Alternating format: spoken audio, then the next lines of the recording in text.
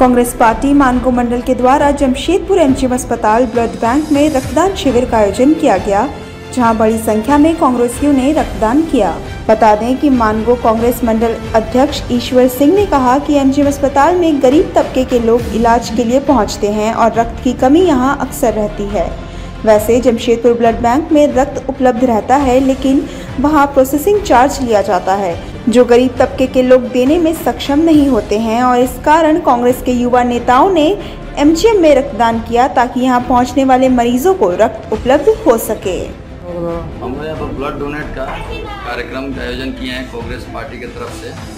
हम लोग एक दिन आए थे यहाँ ब्लड लेने के लिए तो हमें यहाँ ब्लड मिला था, लेकिन हमको लगा यहाँ पे ब्लड युवाओं का पीढ़ी हम लोग के साथ है और हम लोग यहाँ युवा एक साथ एकजुट होकर ब्लड देने के लिए एमजीएम अस्पताल में है ताकि हम लोग का ब्लड गरीब जरूरतमंदों को उपयोग में आ सके।